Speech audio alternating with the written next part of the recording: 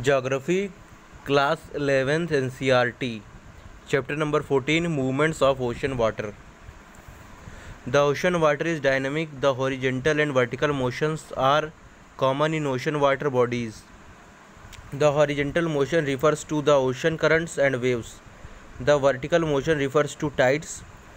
Ocean currents are the continuous flow of huge amount of water in a definite direction, while the waves are the horizontal motion of water. Water moves ahead from one place to another through ocean currents, while the water in the waves does not move, but the wave trains move ahead. Water particles only travel in a small circle as the wave passes. Wind provides energy to the waves. Wind causes waves to travel in the ocean and the energy is released on the shorelines.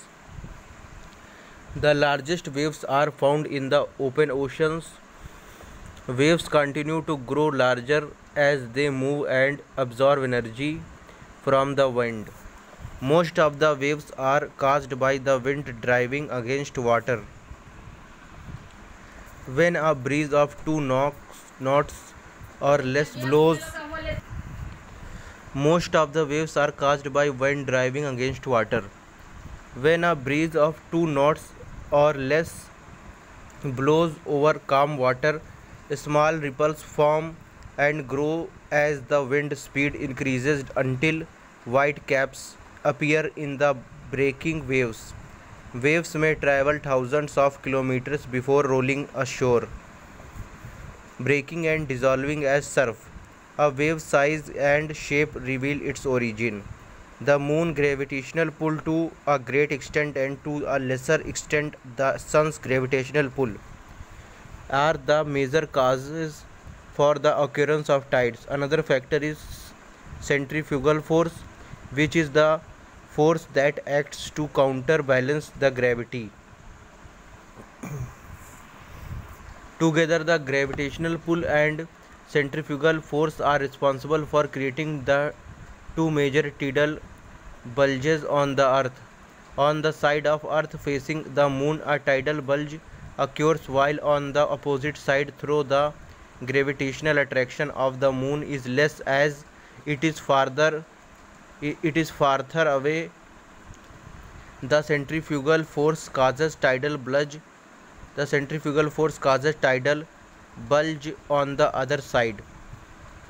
The highest tides in the world occur in the bay of fundy in nova scotia canada. The tidal bulge is 15 to 16 meter because there are two high tides and two low tides every day. Then a tide must come in within about 6 hours period. As a rough estimate the tide rises about 240 centimeter an hour.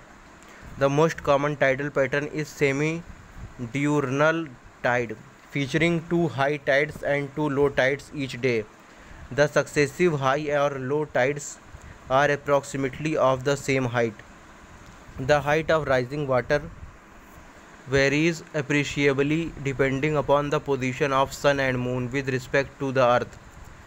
When the sun the moon and the earth are in straight line. The height of tide will be higher.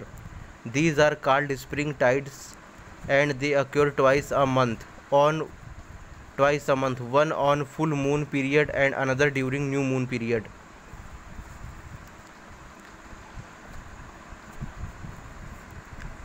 Normally now normally there is 7 day interval between the spring tides and neap tides at this time the sun and moon are at right angle to each other and the forces of sun and moon tend to counteract one another once in a month when the moon's orbit is closest to the earth unusually high and low tides occur.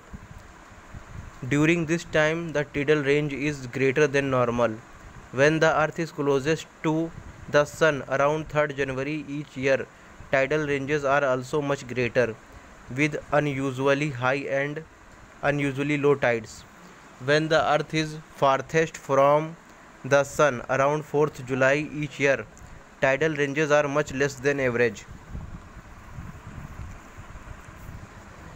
Usually the currents are strongest near the surface and may attain speeds over the 5 knots. At depth currents are generally show at depth currents are generally slow with speeds less than 0.5 knots.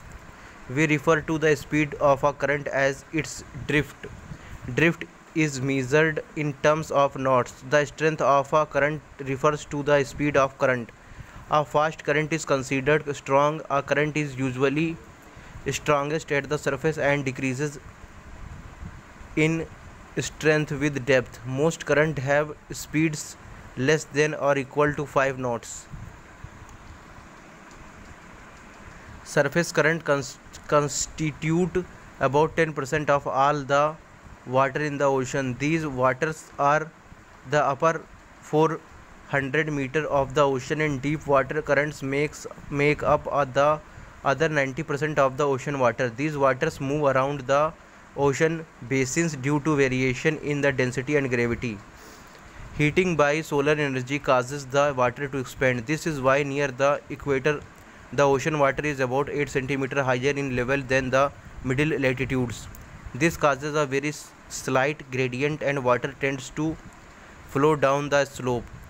Wind blowing on the surface of the ocean pushes the water to move. Ocean currents are classified into cold currents and warm currents on the basis of temperature. Cold water ocean current occurs when the cold water at the poles sinks and slowly moves towards the equator. Warm water current travel out from the equator along the surface flowing towards the poles to replace the sinking to replace the sinking cold water. The mixing of warm and cold currents help to replenish the oxygen and favor the growth of planktons. The primary food for fish population the best fishing grounds of the world exist mainly in these mixing zone. Heading important terms. First waves. Waves are actually the energy not waves are actually the energy not the water as such not the water as such which move across which moves across the ocean surface. Second tides the periodic the periodical the periodical rise and fall of the sea level once or twice a day mainly due to the attraction of sun and moon is called a tide. Next surges movement of water caused by meteorological effects are called surges next tide generating force. The tide generating force is difference between two forces that is the gravitational attraction of the moon and the centrifugal force. Next tidal currents. When the tide is cha- channeled between islands or into bays and estuaries they are called tidal currents. Next EBB the time between the high tide and low tide when the water level is falling is called the EBB. Next flow or flow or flood. The time between the low tide and high tide when the tide is rising is called the flow or flood. Next crest. The highest point of the wave is called the crest. Next trough the lowest point of the wave is called trough. Next, wave heights. It is the vertical distance from the bottom of a trough to the top of a crest of a wave. Next, wave amplitudes. It is the it is one half of the wave heights. Next, wave period. It is merely the time interval between two successive wave crest or trough as they pass a fixed point. Next wavelength.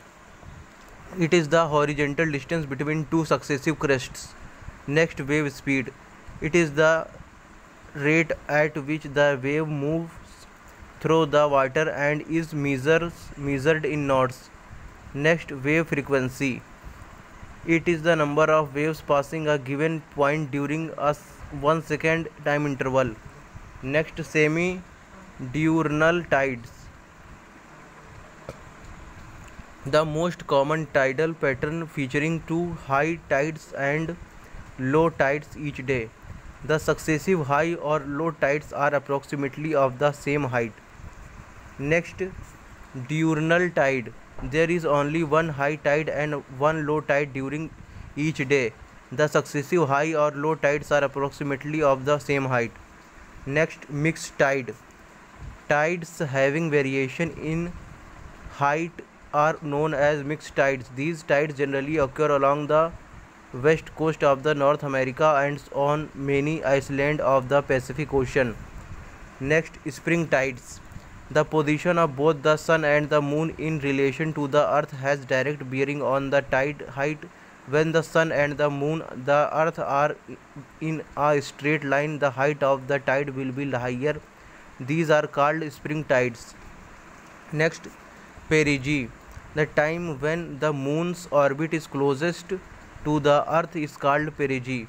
Next, apogee. Apogee.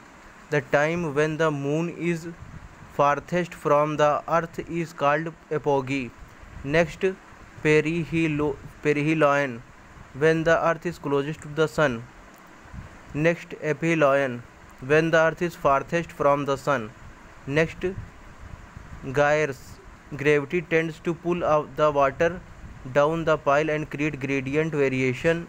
The Coriolis force in intervenes and causes the water to move the right in the northern hemisphere and to left in the southern hemisphere. These large accumulation of the water and flow around them are called gyres.